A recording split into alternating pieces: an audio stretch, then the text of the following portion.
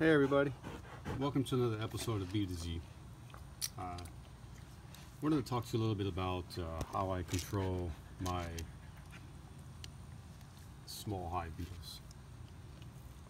So I simply use a Swifter pad. And this is what the Swifter pad is like a cloth. And I put them on top of the uh, brood boxes. Right on top of the frames. So you got brood box, frames, Swifter pad on top of the frames, and then queen excluder, and then your supers. So I also put them on top of the honey supers, just in case. Um, the ones up on the honey supers normally don't have any um, beetles, but I put them there anyways. Um, so you can see one right there. And he's still alive. I kept him alive so you guys can see him. What happens is, is that the bees will run them up into the swifters. And then their little legs, they get tangled up in the little fibers of the uh, swifter pad. Um, and then, so when I'm opening up my hives, I'll see them on there. And I'll usually just pull the swifter pad off, put it on, on a hard surface, and then I'll just, I'll smush them. So depending on how many there are, I'll go ahead and replace the uh, swifter pad or just reuse it. So you can see this one, there's lots of them.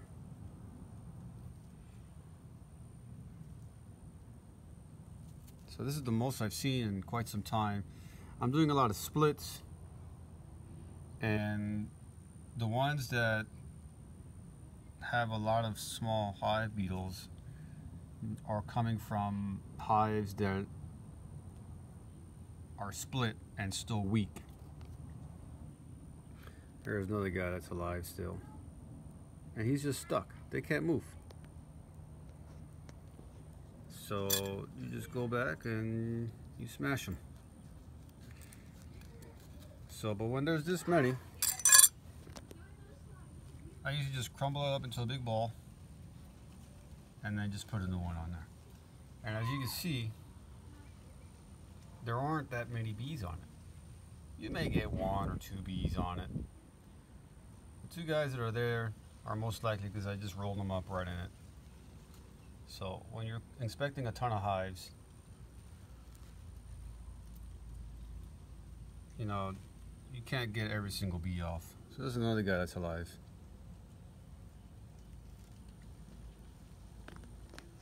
So let's go ahead and smush that guy. And he's gone. That's it.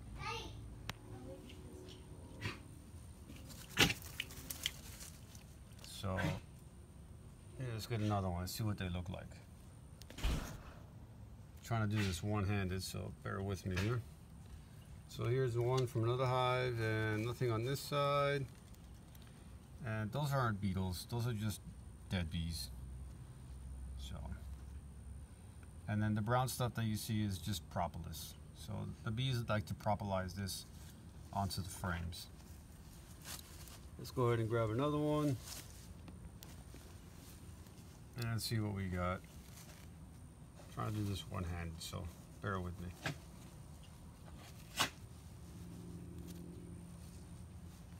Alright, so nothing on this one. See a couple of bees there. Here's some on this guy.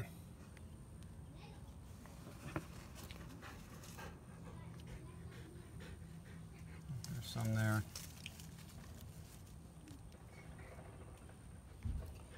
And this one has a lot also.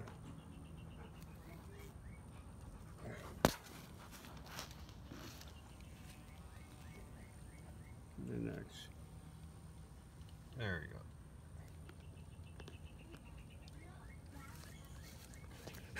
So it works. There's some more here. and smash away. Smash away. Here's another one that's still alive. Smash away.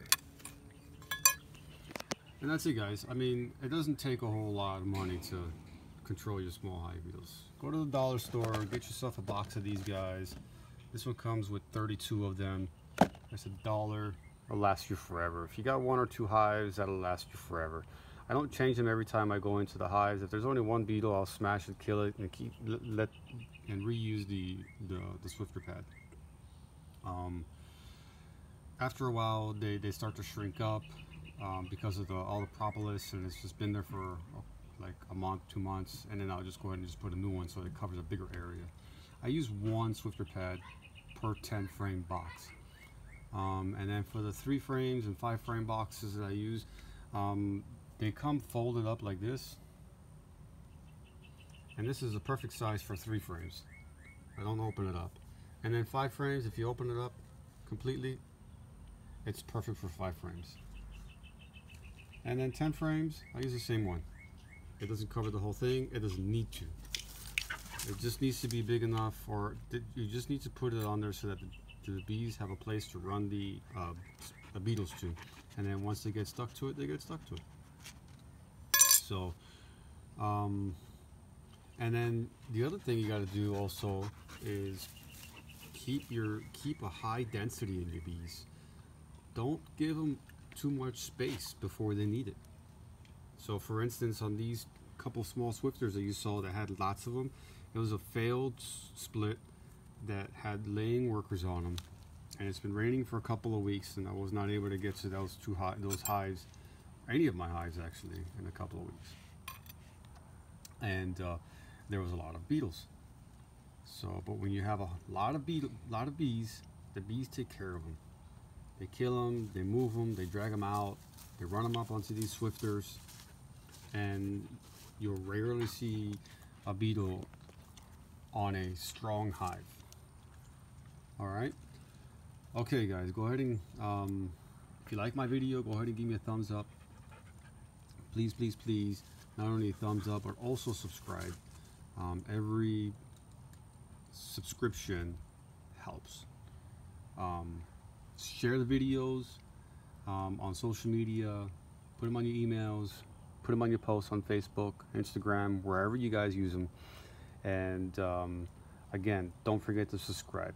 Um, stay tuned for my next video. Until next time, thanks for watching another episode of Bee to Z.